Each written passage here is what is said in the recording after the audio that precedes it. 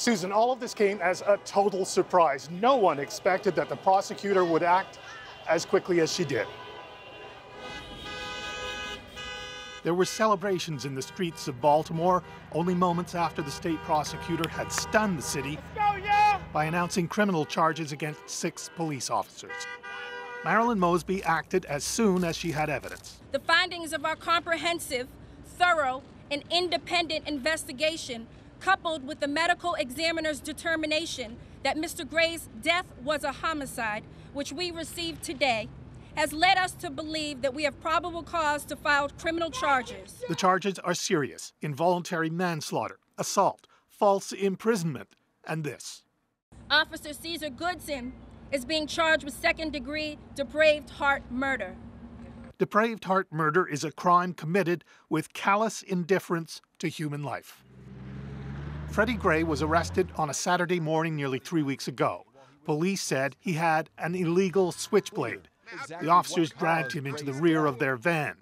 Gray was handcuffed but not buckled up as the van drove around on a convoluted route to the precinct, stopping four times.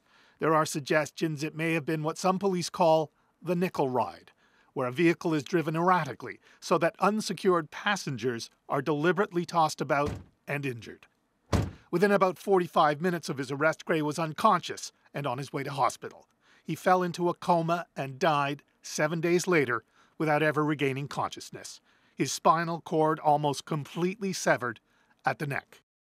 I've spoken with Commissioner Batts, I've spoken with the mayor, I've spoken with the governor. Mosby also said today that Gray had not had a switchblade, as police claimed, just a pocket knife, perfectly legal.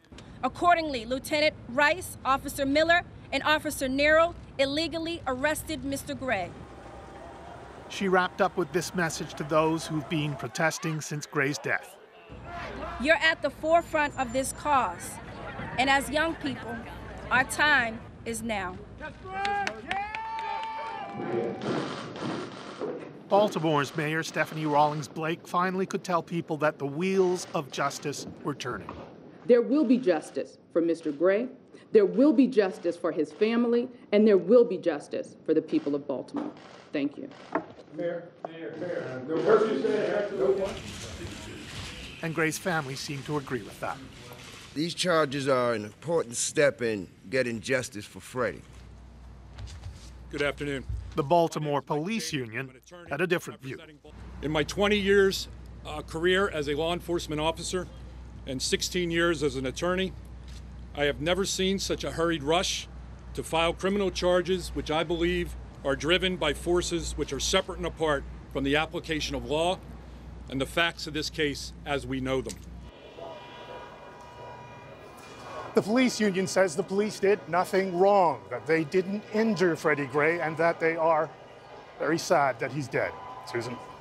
Keith, we can hear honking in the background. What is the mood on the streets there tonight? Well, it's a little bit more tense than it was this afternoon when people were actually quite celebratory. But uh, there doesn't fe feel like there is any sense of a confrontation here. You can't see them, but there's a line of about a dozen police officers right to my left here, and they are in their riot gear, but they're not wearing their helmets. And I can see that their shields are lined up against the wall of the CVS that was burned down the other night. Now, we've seen some helicopters floating around as well. They are keeping an eye on things, but they seem to be trying very hard to just let people enjoy their celebration, make sure nothing gets out of hand, and above all, let's not force a confrontation that isn't necessary. Right, so what more do we know about the officers who are charged? Well, we actually have pictures of them now, Susan. They were released earlier tonight. I think we can take a look at them now. You can see them there. There are six of them.